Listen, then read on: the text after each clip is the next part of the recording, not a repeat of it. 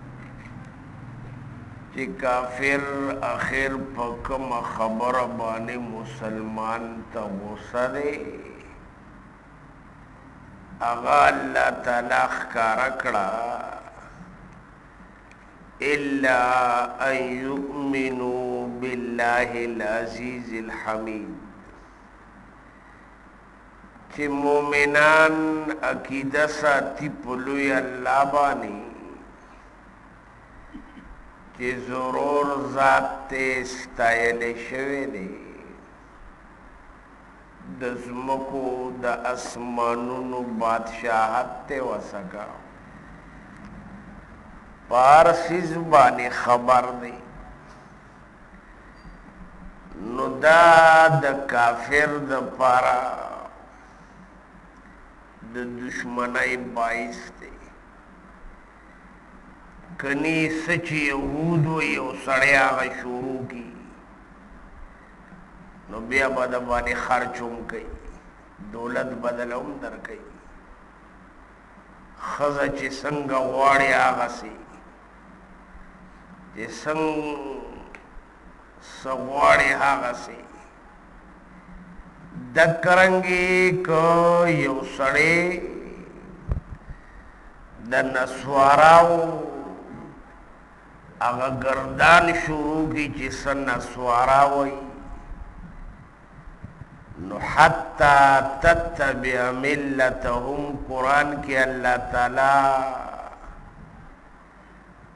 دا اخیری حد ذکر کړی دی پیغمبره دا به چری ستا دوستان نشی البته یو صورت ته تتبع ملتهم چې توم هغه ټپ شروع کی چې دی سوی بل سلار نشته او بیا فرمایل چا چې مؤمنانو سره په کوم وخت کې زیاتې کړې دي د خو الله تعالی یو واقعه ذکر کړه اصحاب الاخدود کنی سړی چې دا کتابونه ګوري او د مسلمانانو سره څه شوي دي نو دا د اورېدو نه دي خو د خدای نظام دی الله تعالی هر دور کې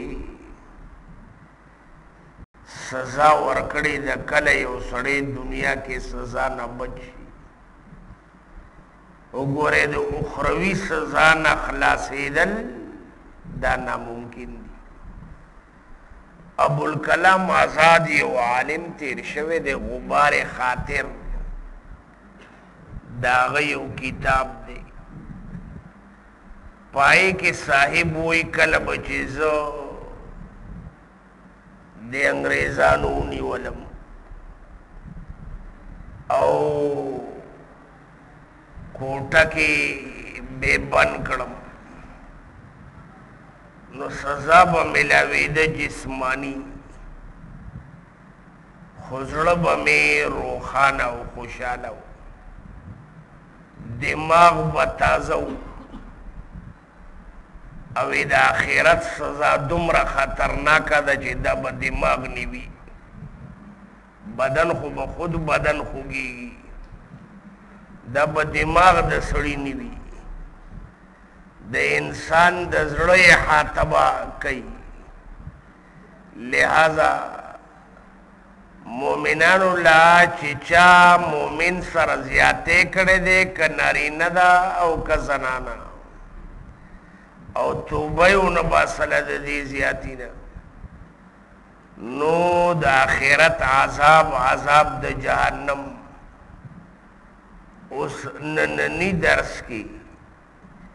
ان بطش ربک لشدید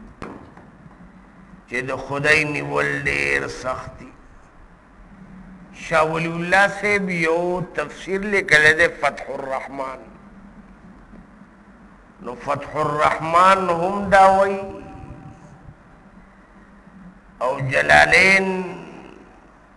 ای کې هم ددې خبرې وضاحت شته. شاه عبدالقادر دهلوي یو تفسیر لیکلی دی، موضح القرآن، موضح القرآن ورته هم ویل کېږي، قرآن کو واضح کرنا، واضح کرنې والا. نو دی وایي چې ذونواس.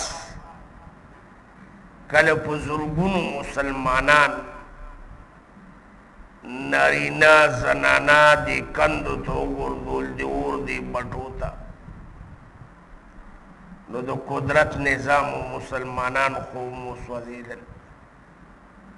خو د اور خدای راوچت کړ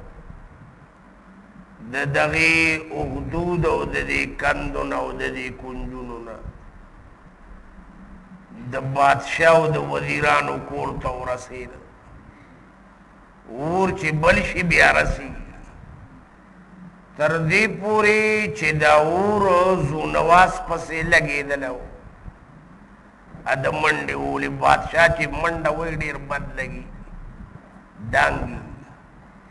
تر دې پورې چې دریاب ته ودانګل وي چې د اور نه بند شم چې د اور نه بچ شم وي دا دریاب ښه دی دریاب یې د هلاکت ذریعه وګرځېده لهذا د ظلم سزا کله نغده دنیا کې میلاو شي او زونواز چې کوم تن ماشوم عبدالله د تعمیر زوی کمی ویشته او د حضرت عمر سے په دور خلافت کې دا کودای شوی و ځکه د رسول الله صلی الله علیه وسلم د بعثت نه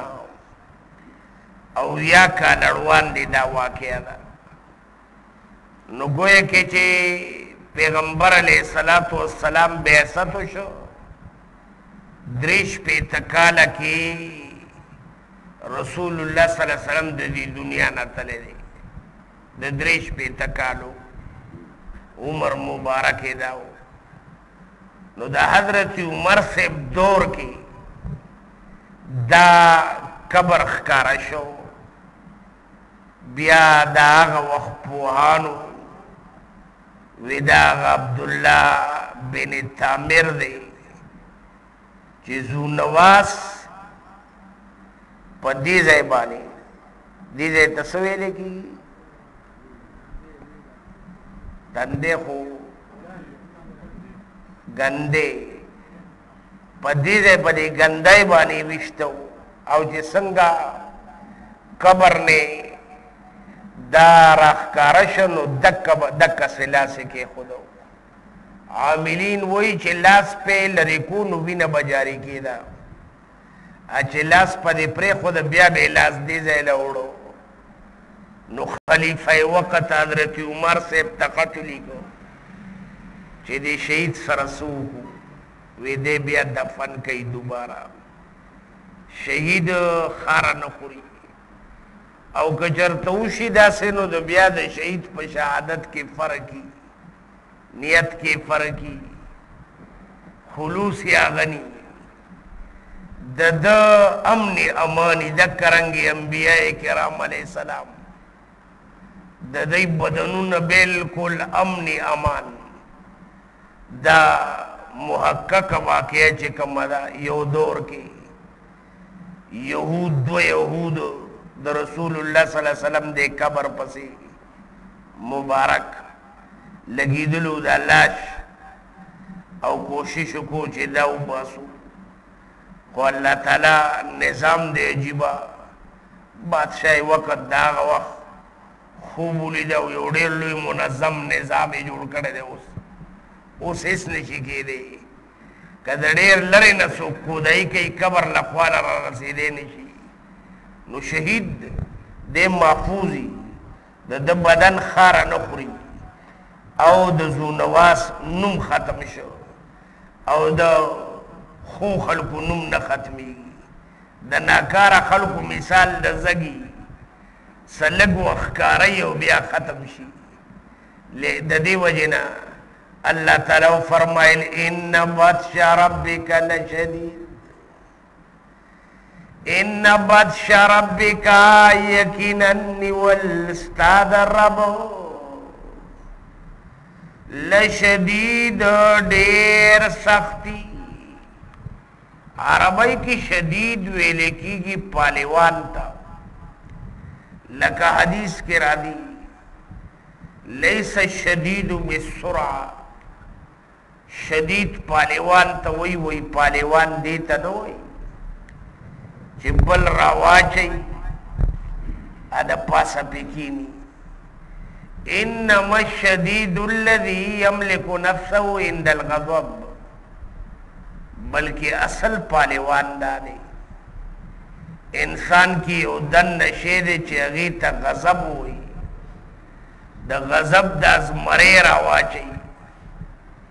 او خپل غوسه کنټرول کی دا پالوان دی نو د خدای نیول بتش ویل کیږي دیتا چې کله د خدای د گرفت نه دنیوي گرفت نه بچي پیسې ورکی اثر رسوخ استعمال کی خو دی بچ کېدلو سره دی د آخرت د عذاب نه نه بچ کېږي دنیا کې خو بچ شو نو شاه د ابوالکلام آزاد وای چې د دنیایي سزا ما سکلې ده د دنیایي سزا اثر صرف بدنه پوری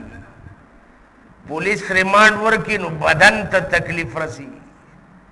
دل دماغ د برابري خو د خدای گرفت چې سړی راشي نو د خدای گرفت کې بیا انسان دل هم کار پرېږدي او دماغ هم کار پرېږدي نو د خدای گرفت ډېر سخت دی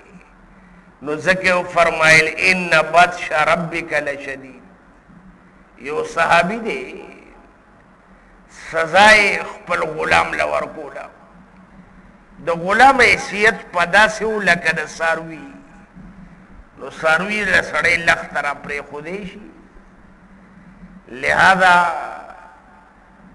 دغه صحابي د سزا ورکوله خپل غلام له نو آواز ورپسې وشو وی دی لږ سوچ وکړه دا سزا ته چې ورکې نو دی د دې دومره سزا حقدار دی او که نه او که زیاتې دی او که په دې سزا کې للفحت کا نار اور به دې جلوس کی سړی چې تعدیب هم کوي استاذ که سزا تعدیبي سزا هم ورکوي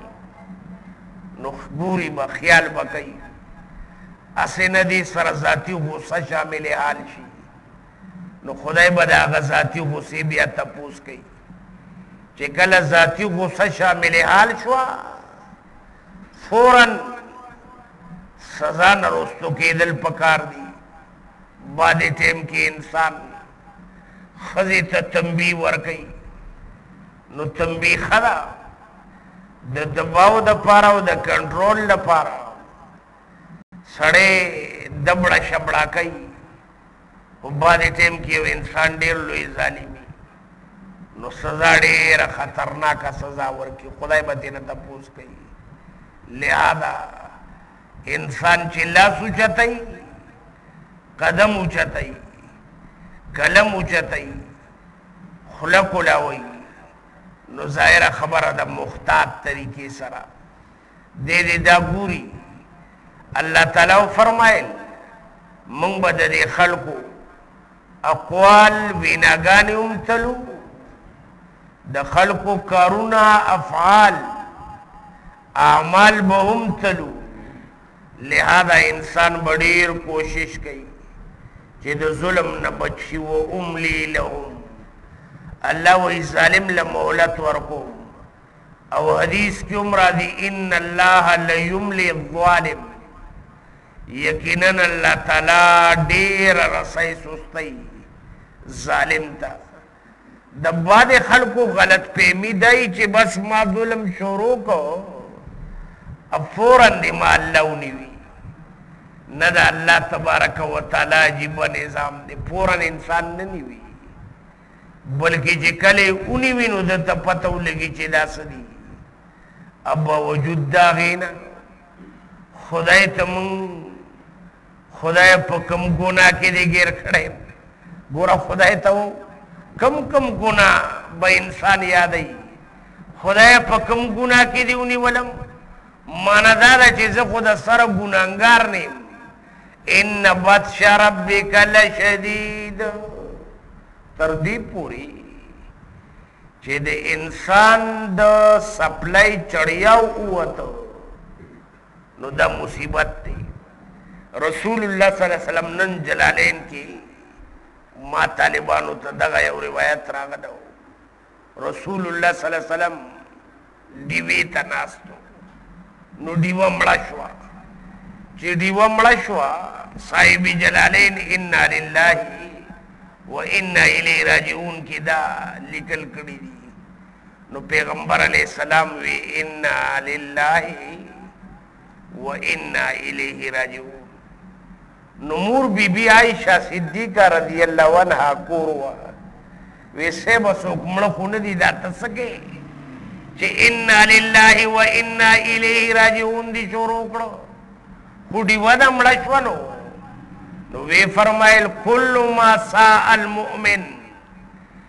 پیغمبر علیه السلام وفرمایل ویای چې هر هغه شی چې مؤمن له تکلیف ورکی مصیبتون وی هغه مصیبتی نو چې ټکر دی مو خوړه دا مصیبت دی ازغې دی چوکا شو دا مصیبت دی د سپلای پیدار چړیاو اوته داوم مصیبت دی لہذا د خدای تبارک و تعالی د طرف نه چې انسان ته یو تنبیه راشي نو دا خی دا نه خدای کم ګناه کې دی غیر کړم ان بطش ربک لشدید یقینا ستا د رب بطش نیول له شدید دیر زیات سخت دی انه شان داده هو یبدئ دا الله تعالی ابتداءا مخلوق پیدا کړی دی و یعید دوباره به هم پیدا کوي یو انسان اوس وزید ایرشو دا ایری بسنګ الله تعالی یو ځای کوي چې څنګ الله تعالی په تکو تورو تیارو کې اپ اوبو کې انسان جوړ کړو هم دک الله تعالی به دې دوباره اعاده خو ډیره اسانه دی ابتدا نه دوباره یو شی پیدا کول دا خو خلکو ته هم اساني پړومبي دلی یو سیز جوړول دا ګران دی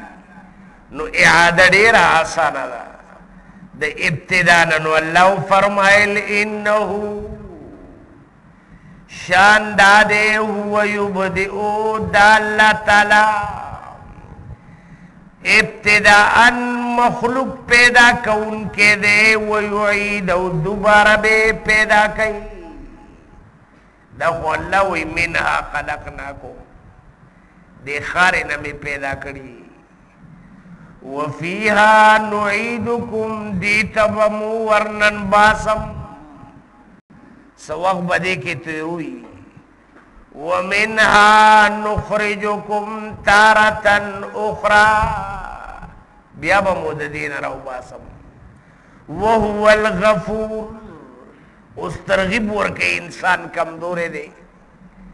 مختلف جرمونه به یې تیشه وي نو خدای ډېر بخونکی ذات دی الغفور ډېر بخونکی د او یو میندو نه زیات مهربان مور که ډېره زیاته خفه شي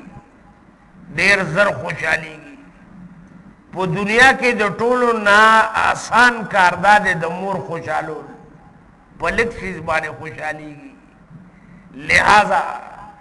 د اویاو میندو نه زیاته مینه محبت الله تعالی حضرت انسان سره کوي نو لغونه کې سیز باندې خوشحاليږي هم دک وجه د دلیل په دغه حدیث دی چې خدای ته څوک یو لیش نږدې شو الله وی زه د ته یو ګام نږدې کېږم او څوک چې ما ته یو ګام را واخلي اتیتو هر ولا حدیث کې راغلی زه دله په منډه ځم نو د خوشحالي د الله تعالی ډېره اسانه ده او چې چا خوشحاله نه کو ظاهره خبره ده ډیر لوی نقصان یې وکړو الله تعالی بخونکی ذات دی الودود ډیر محبت کوونکی دی ودود ویل کیږي چې ډیر محبت کوي خدای چې انسان سره کوم محبت کوي دا محبت خزا د خپل خاون سره هم نشي کولی پلار د خپل زی سره هم نشي کولی مور د خپل بچی سره هم نشي کولی ودود ویل کېږي ډېر محبت کوونکی دا مبالغه ده حدیث کې عمر دي رسول الله صلی الله علیه وسلم فرمایل تزوج الودود الولود فإني مكاثر بكم الأمم رسول الله صلی الله علیه وسلم فرمایل تزوج الودود الولود نکاو کید هغه زنانه سره ودود چې محبت کوونکي بعضې خاندانونه فطري تورای کې محبت نه وي تندي کې به ګرونجي ته به وایې جوړې چې لرې ته وتښتې دی دا باقاعده اثراتي تزوج الودود الولود چې بچي ډېر کېږي او دا پته لګي لہذا مخکې رسلنا حالاتنا خدای چا لیدلی نه دی خو قدرتونو باندې بعد خاندانونه شن را رواني نسلن بعد نسلن یا یو یو را رواني نو ظاهره خبره ده فإني مکافر بكم الامم رسول الله صلی الله علیه وسلم فرمایل د بد امت په کثرت باندې فخر کوم چې سورغ محمد څۀ وائي، بچۀ دو هي اچۀ دا خطرناکه نعره ده، بچۀ دو هي اچۀ، خدائ چې دله سوله درکړي ډېره ښه ده، د خدائ په پېرزونه باندې خوشحالېدل پکار دي، نو وې فرمائيل، ان بطش ربک چوټا خاندان خوشحال ګرانه دا غلط اوازونه دي، شريعت سره متصادم دي، لهذا د دې نه به انسان ځان بچ کوي ان بطش ربک لشدید یقینا ستا د رب نیول لشدید دا ډیر زیات سختی انه هو یبدئ دا الله تعالی ابتداءا مخلوق پیدا کړی دی و یعید دوباره به پیدا کوي وهو الغفور دا الله تعالی ډیر بخون کې دی بخنه تی وغواړی الودود ډیر محبت کوونکی دی خپکیږي نه که یو ډیر کزو نواس هم سره د دې ظلم نه خدای ته لاس اوچت کړه او خدای زه توبه تایب کېږم کفر پرېږدم نو خدای به بخښنه سره د دې نه چې څومره لوی قاتل و د خدای تبارک وتعالی د محبت انتها سره ذوالعرش د عرش خاوند دی المجید د لوی مرتبه خاوند دی شان لوی دی فعال کون کې د ډیر کون کې د هغه سره لما یرید چې سو غوړي منصوبی نه جوړی منګه تا خو منصوبی جوړو دا کو دا نه کو دا به وشي یا نه الله تعالی منصوبی نه جوړی بس دا الله د ارادي نو موجود دی اذا اراد الله شيئا کله چې الله تعالی دی یو سیز اراده وکړي نو هغه څیز ته وایي کن اوشه که اوسې ووي په دې د دې جون په دې ګرمۍ کې چې یخني شه نو یخني به شي خدای ته څه ګرانه ده ولې ابراهیم علیه السلام باندې اور بلېده او اور اسمان سره خبرې کولې خدای ورته وی یا نارو کونی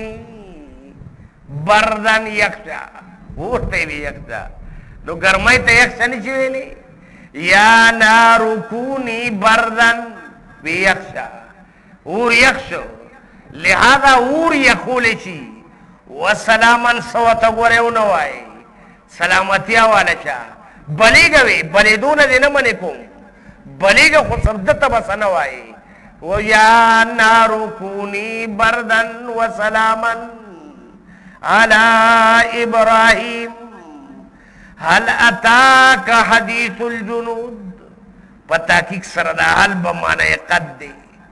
لہذا دا تحقیق معنی به سړی کوي په تحقیق سره راغلی دی تا ته خبرې د لښکرو فرعون یو لښکر د فرعون بارہ هزار منظم فوج موسی علیہ السلام ته مقابله کې راوستو موسی علیہ السلام سره هیڅ قسم تدبیر نو خو خدای پاک چې د چا ملګری شنو فرعون رستو کو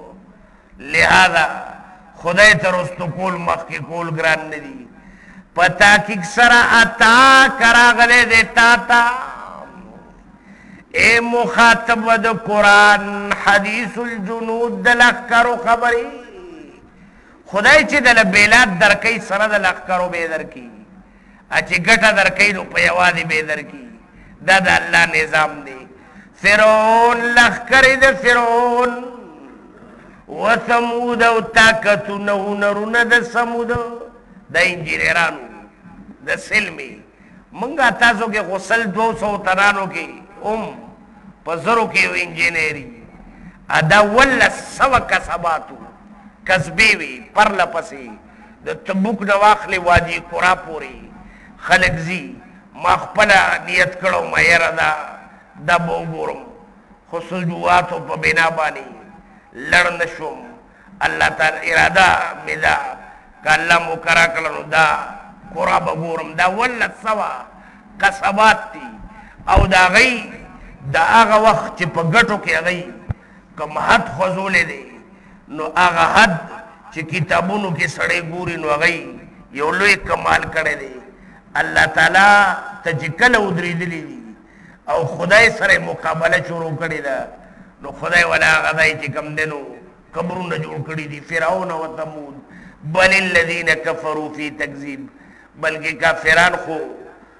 پراته دي په تکذیب کې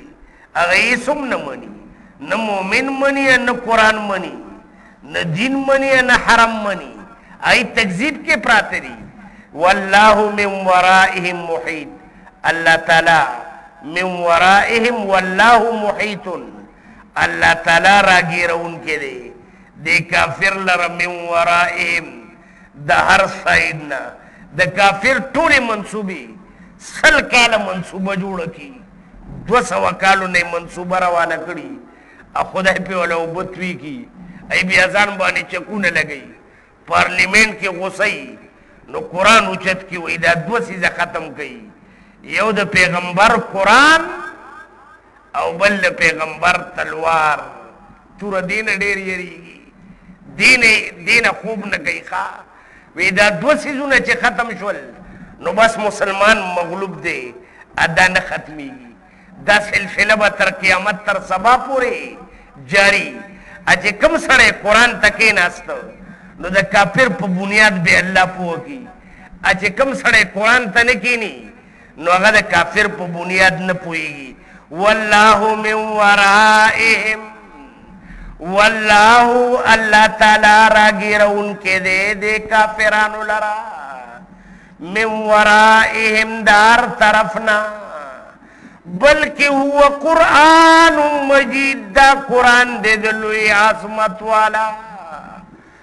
د بزرګۍ والا لوی شان والا یو سل څوارلس صحیفې دي منګه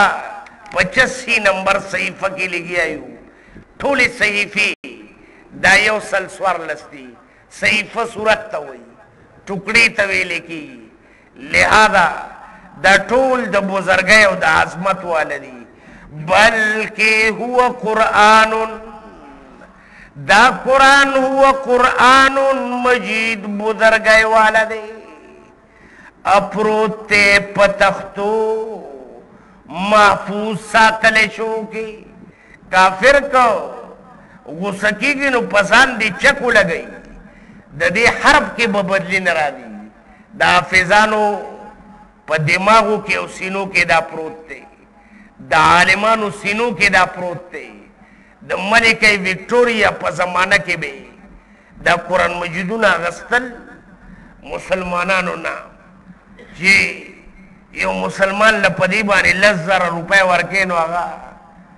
لس زره روپۍ ډېرې ګڼي ادا به یې سیند ته غورځول سیند ته دې دپاره چې دا قرآن ختم شي شیخ الهند وی دا د ختمېدو نه دی سینې نه به یې څنګه وباسي سینې نه به کم ځای وباسي انا نحن نزلنا الذکر الله وی دا قرآن مونږ نازل کړی دی مونږ به خیال کوو ساتنه به مونږ کوو لہذا الله وی زمون کتاب دی خیال به مونږ کوو نو په تختو ستایل شو کې دی لہذا دا داسې تختو کې دی چې ساتنه الله تعالی کوي د کاغذ د تختای ا د پړې نه خو به ختم کی خو د زړه د تختې نه نشي لري کولی ده به تر قیامت تر سبا پوري د غم وخت به هغه وخت چې کله د مسلمانان المارو ته لړ شي او قرآن رالي او قرآن صفا سوتري ادا نکوش نی دا به د قیامت نږدې اوقات دي د پاڼو نه به ختم شي الله تعالی دې زمونږ تاسو نسلونه د قران په ثمراتو سره مال اړې دي د ټولو قبرونه د جنت ته باغچونه باغچه کې مونږ ژوندي خدای خپل ځان ته متوجي کې د خپل غصې نه مو ساتي خدای مو مو ظالمان کې مو مو مظلومان کې خدای د ظلم نه مو مو ساتي خدای د دین مو بچ کې چې څوک را باندې ظلم او زیاته وکړي خدایا سمرا دی ملکی چې دی دین سره غداری کوي یا ملک سره غدار دی په کومه جامه کې دي خدایا تی مخلصین کې خدایا کا ازلی بدبختی مختص مکه نه لري کې خدای زمون حکمرانان بیدار کی کدا عربو حکمرانان دی کدا عجمو خدایا د حرمینو حفاظت وکي امانتدار لاسو کې ساتي خدایا د کافر خوبونه چرته هم رښتیا مکي خدای په دغه غوسه کې یا وته هدایت وکي چې کوم ځلې بدبخت دي خدای دغه غوسه یې د مرګ ذریعہ وګرځي مسلمانان دا غي د منصوبو تدبیرونو نه خلاص کی مسلمانانو کی حمیت اتفاق نصیب کی کم ځای کې مسلمانانو سره زیاتې کیږي خدایا د کافر دا زور ختم کی د ظالم لاس ونیوي مسلمانانو کې اتحاد اتفاق نصیب کی د حرمین دعا کې یاد کوي چې الله یې چمک دمک برقرار ساتي حجاج کرام چې کوم خوارۍ او محنتونه کوي خدای موږ له پدې کور کلی که خدای د هغوی په منډو تړو کوششونو کې حصې او برخې وکړي خدای حصې او برخې وکړي د نجات ذریعه وګرځي خدای د هغوی حجونه قبول کړي خدای زمونږ حصې او برخې پکې وکړي د حضرات صحابه اکرام رضی الله تعالی عنهم اجمعین بې لوسه خدماتو کې خدايه زمونږ لږه حصه او برخه وکړي مينه او محبت باندې د جنت ته تلو فيصله وکړي ديني ميدانونو کې څومره د مونږ معاونين مخلصين محبين دوستان شاګردان کليوال ملاتړ وفات شوي دي خدای قبرونو کې خوشاله لري د مهنت په سلسلو کې شریک لري کم ژوندۍ دي عمرونو مالونو جانونو اولاد کې برکت کې خدای په دې نښو کې تر قیامت تر سبا پورې شریک ولري کم ټیم کې ساخلی د عظیمه کلمه په خوله باندې جاری لري چې لا اله الا الله محمد رسول الله خدای د ګرمۍ موسم دی دا په یخنۍ باندې بدل کی د خیر او د رحمت په قدر د حاجت دوبو بارانو کې بندې دروازې کولاو کې رحمتونه متوجه کې خدای ته بغیر د باران نه موسم یې خولې شي خدای زمونږ د لاسونه خالی مو